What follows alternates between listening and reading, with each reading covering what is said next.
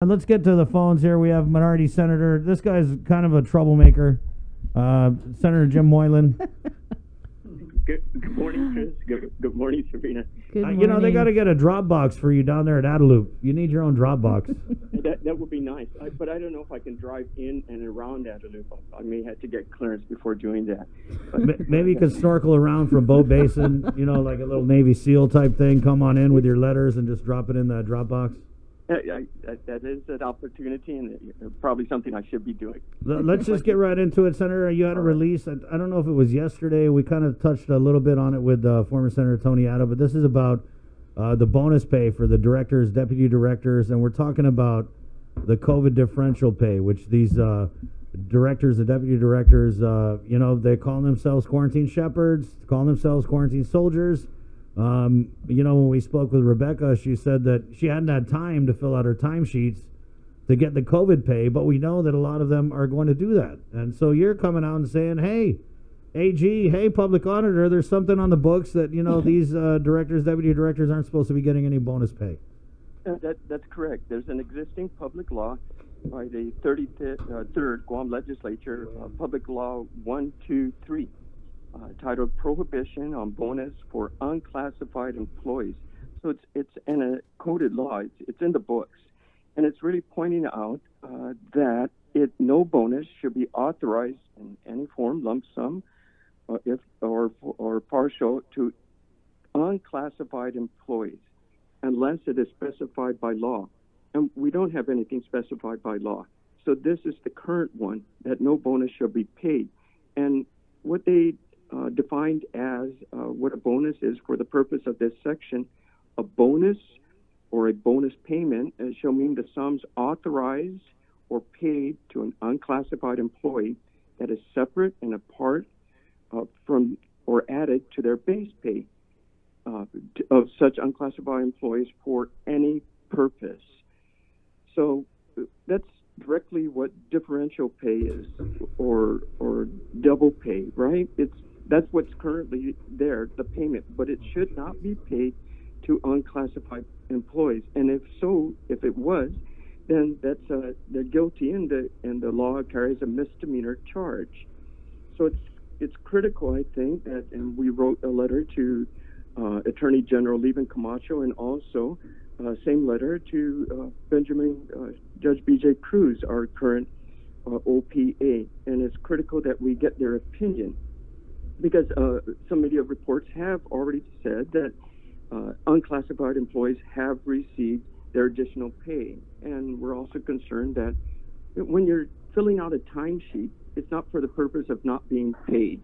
Uh, if you're tracking something, that's fine. But if you have someone, unclassified or classified, complete a timesheet, that's for one purpose only, and that's for payment.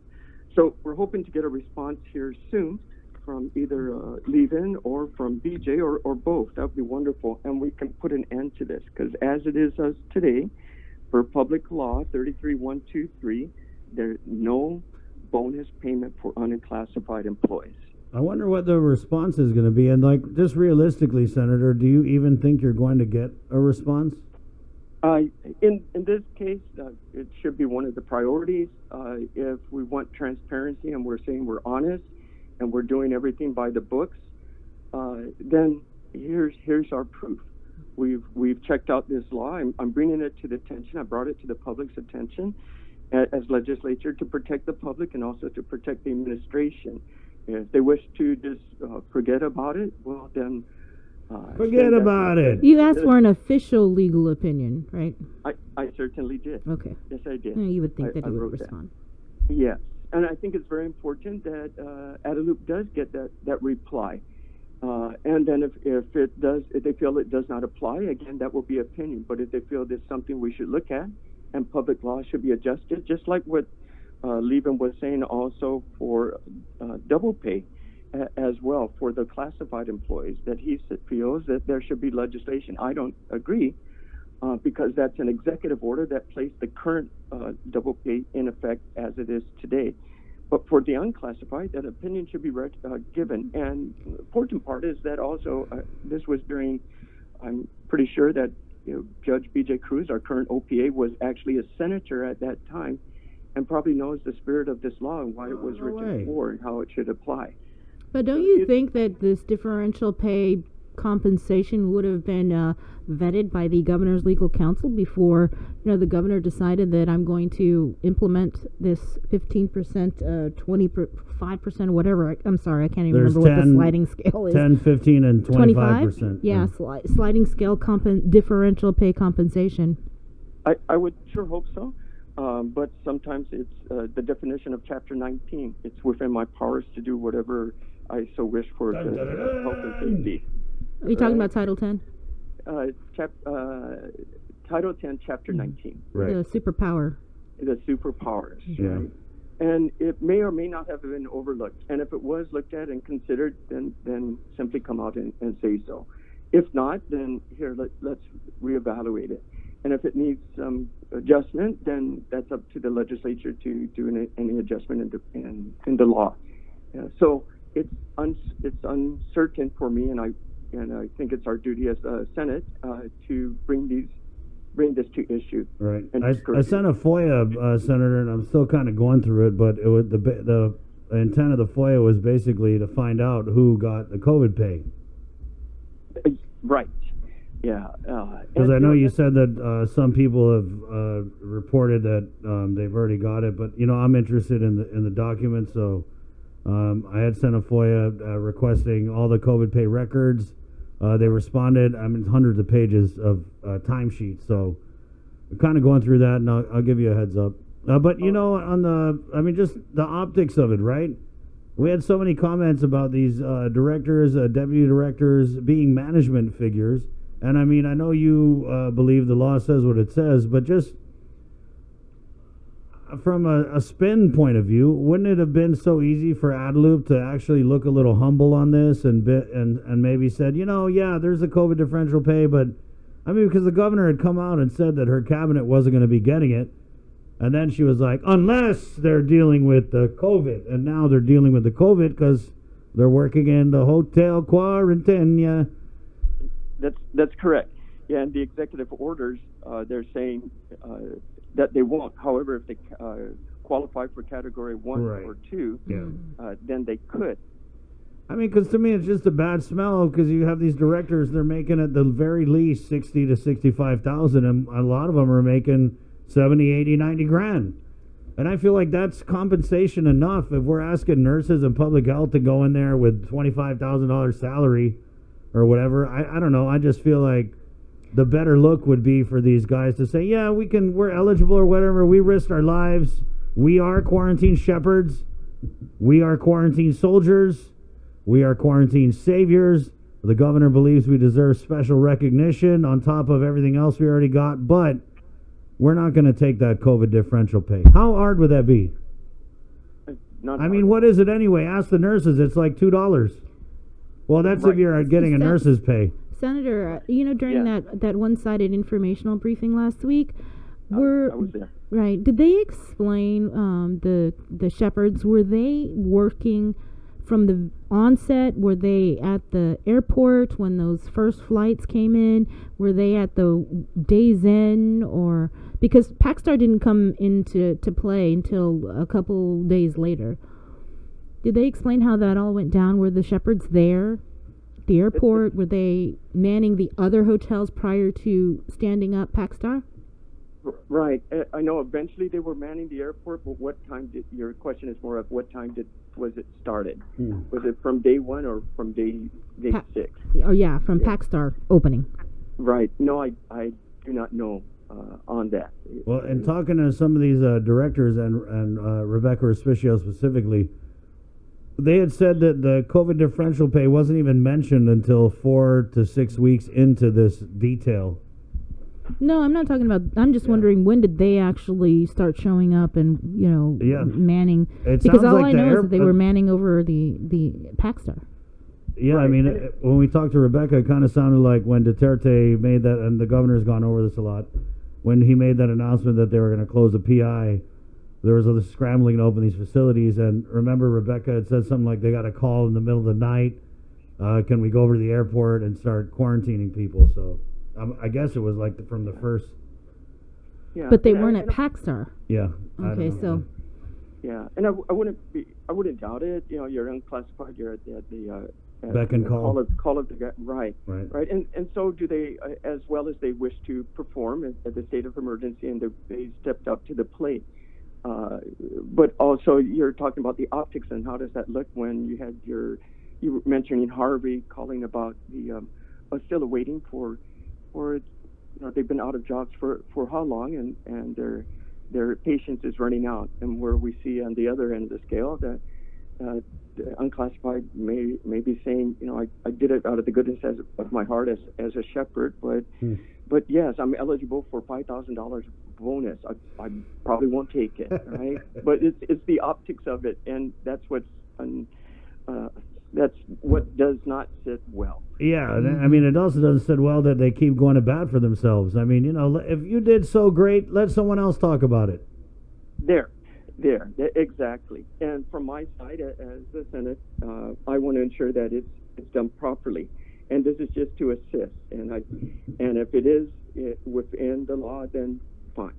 And then if it with, if they do decide no, we, we are not getting our differential our our, um, our our pay as unclassified, then then fine. And if they do, then that's their it's within the law, then then fine as well. So it's just questions to ask, and we want the transparency so the public can feel confident and, and help us uh, move forward. what about? A, I understand there's an oversight hearing tomorrow. Is that correct? Are you on that? procurement? Are you? Are you on that committee, Senator?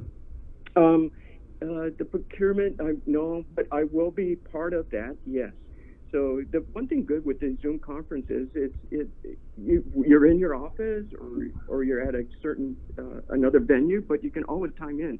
So these Zoom conferences has been helpful. There's a difference, of course, where the, the feeling of having somebody testify in front of you and the questions asked and the presence of one another there, it, it is a different off, uh, feeling. And actually, it feels uh, more um, less formal, especially on the Zoom conferences. And if you wa- if you're able to watch us, you can tell sometimes we get up and just walk away as, Right. as I do. But but I do come back. So yes, I'll, I'll be participating in that because that's the procurement. Um, we were talking about contracts, and the invitee is the What legal contracts? uh, Hmm. legal advisor for, for the governor, right? Who I, I forget his, his Hi, name. Ken. Hi, but- yeah. Wait, he's Yeah. actually going to answer questions. Is he showing up? Well, the the he is one of the invitees, and I have asked uh, in a letter form to uh, Senator Perez Sabina to uh, ensure uh, through her subpoena powers if Hmm. there's anybody there not on the panel as as specified that we do uh, do subpoenas. Yeah. So she had. We uh, kind of broke that she was going to do this oversight hearing on on this show, and Right. um, she had indicated that if it came down to having to subpoena people, she would subpoena people. So I've been asking her, haven't got a response. I'm wondering if anybody's going to get subpoenaed because honestly, Senator, it's kind of ridiculous that you guys allow yourselves to to get in these informational briefings with these Adelup staff and you can't even ask them questions. It's freaking ridiculous. It's so ridiculous. And then you allow them to sit there and read 15 pages of political nonsense and you can't ask questions. And I mean, you have to submit questions. And what world are we living in? What world are we living in that we're getting the people who are running the government of Guam showing up to, to address the senators and you can't even ask them a freaking question? Right. I mean, Yeah, it, like John Junior Calvo's Calvo's making a hundred twenty something thousand dollars in salary alone, and you can't ask him a question in a public forum. in a public forum, right. and this isn't even the first time. And what we hear from from you guys is that oh, they won't even show up unless you agree to not ask them any questions. That is just ridiculous, and I don't know how you guys stand for that. I don't know how you stand for that. I don't know how you guys well, I'm can. hoping Sabina Flores doesn't stand for it, and she makes sure that people that are supposed to be there or that were had any part of this contract yeah. Negotiations uh, shows up. Right. And and yesterday we did have a Zoom conference, uh, uh, and uh, again it was brought up. But in my round of questionings um, as minority, I kind of come to the end, uh, which is acceptable, right? Uh, and the presence of some of the directors were was not there, so I called it out. and I called out that, that I'm very disappointed and we're wasting everybody's time. And the Zoom conference make it so convenient uh, for everyone to just stop and give a few minutes. And sure enough, uh, shortly thereafter, those directors, we were wondering where were they? They all of a sudden popped up. So it's a matter of the senators uh, calling it out and make it a strong voice and opinion because the public is entrusting them to ask the questions uh, that they want. I mean, know. God, it's basic. It's so basic, Senator, and I don't understand why we have, um, you know, uh, people like the Speaker, like I don't know, the Rules Chair, also apologizing for this. Oh yeah, they're gonna come, but no, and then we'll, we can just put it in writing, and we're gonna send them eight thousand questions in writing, and they're gonna take five years to get back to us. Yeah, we, we can no longer do that uh, to the public uh, with this situation, especially, with the pandemic of our health concerns and when our when our businesses are going to start back, getting back together, getting going, and moving on with our economy. We must ask those questions in front, and it's not to put anybody on the hot seat, but it's to show the transparency and then give the confidence back to the public, so they feel good about uh, how their operations of the government is running. And at this point, uh, I don't think we need to give anybody a pat on the back. We need to work harder on that, and so we can give this confidence and move on. So, Senator, as far as you know, who is supposed to be appearing in this Zoom oversight hearing tomorrow? I think there's a couple of assistants under the legal staff that will be there too. I'm I'm not sure if uh, public health is one of the invitees, uh, but definitely They signed, well, they didn't sign, but there was a contract with HSP that was not signed by Linda Unpingco DeNorcey. Okay.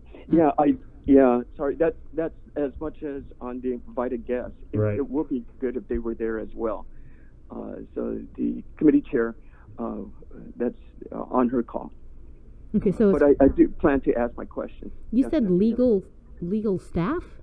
I, I, or legal aides? A couple aides. Yeah, there's a couple of other uh, ladies For- whose name For the governor's mentioned. office or I, what I do believe mean? it's from the governor's or that that division within Yeah. that division. Well, we, you know, I, sp- I uh, So not the legal councils,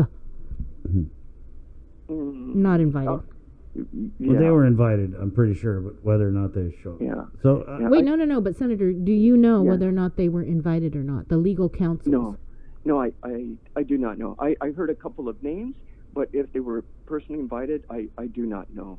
Sorry. Can you send us that? What is that? You- I mean, is there like a, a working list or some kind of document that shows like, hey, this is who we tried to call or whatever?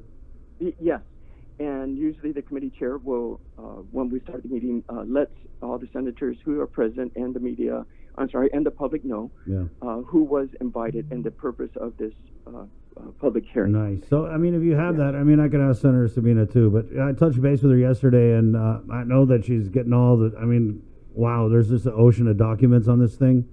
So I'm Right. assuming that she's working hard on putting on a good uh, oversight hearing.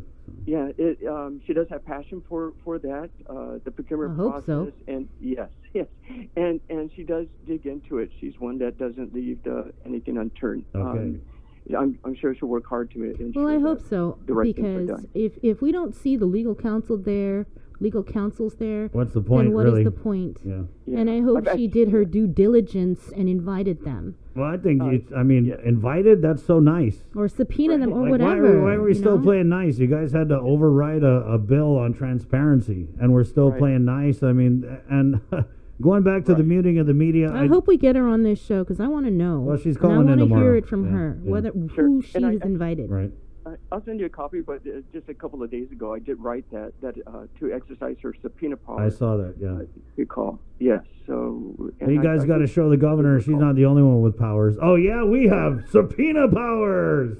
dun, dun, dun, dun. um, so yes, I'm looking forward to that, and looking and I really want the questions uh, answered directly. What do you want answers to? I, I, you know, I have asked uh, the director of Department of Public Health uh, that question, uh, and I asked it twice on that public hearing that, that we had The digital on, signatures. on Zoom. Yes, and and to clarify and re-clarify, and it comes back to um, how Chris explains. I do not recall the call. Uh, and it's, it's all possible. So that's coming from, from that side. So which is, is that that's the answer, and that's I understand. So let me ask now the person that was involved with that. It was this the situation, you know, relieve my mind, help me understand, and then also why are so many signatures missing altogether when we pull up the documents online? Why, why hasn't this been resolved? And I did hear the, the governor's explanation, and I and I understand, and I, I appreciate that too. What But, was her, in your eyes, Senator? What was her explanation for that? Uh, I'm feeling that the situation was at a rush, and things were at, at their point at, at Adelup needed to do what they must have to do, Right. and, and just put that aside and, and ram forward with it. Ram And- forward. Ram Right. forward. Ever onward. just down right, full steam ahead. And they, I I mean, yeah, it's a base, but how I look at it is they tried to ram this stuff through. yeah. The civil And I- defense and the certifying officer like, oh hell no, we ain't gonna sign that. And so they said, how do we get out of this? Let's use the superpowers. Right, and which brings up a good point, Chris, because uh, officials, uh, elected officials, come and go, but it, but it's those uh, classified employees at civil defense and Right. and these contract workers that are there to advise the elected officials. By law, you must do it this way, and that's where you have to stop and put on the brakes. And then, as elected officials, we're going to say, okay, I understand your point. It's a misdemeanor. I'm going to go forward with or without you, or yes. This is what I'm going to do. I'm going to abide by the law, and we're going to help expedite and, and move your process up as quick as possible. You know, move these procurement processes up as, as fast as can. Put all, all people on that, get it done, and so we can we can achieve that because contractually, uh, by contract, right? When somebody comes in to audit this, how, how is OPA going to audit something? Where, show me your contract because they're going to read and review. Nobody signed this. This is nothing I can audit. There, therefore, nothing is there for me to give an opinion on other than you should have signed a contract. You know, so so that's where that we, as I, I believe, as as uh, elected officials, uh, must listen to the classified employees' advice, and that they're advising advising us as their duty, the proper way to perform the law, and understanding our excitement to get things done and, and do it right. But yes, we still have to do it properly. So it's for the protection of the island, it's for protection of the, the people and protection of the government. Okay, Um, Senator. Yep. Thank you so all right. much uh, for your time and, and good luck there. You're welcome. Uh, thank you. Have a All great right. day. Take care. Bye-bye. Okay, bye. Wash your hands. Uh, okay, Senator Moylan. Let's uh, keep with the Guam legislature and get Senator Joseph Augustine uh, onto the show. Good morning, Senator. Mor- Hey, morning, Chris. Um, I guess just first of all, there was a lot of rapid evolution that happened over the last uh, couple days. Just I, if we could just get your response to, uh, man. Let me just get the timeline on this. So on the double pay, we had the speaker come out um, with.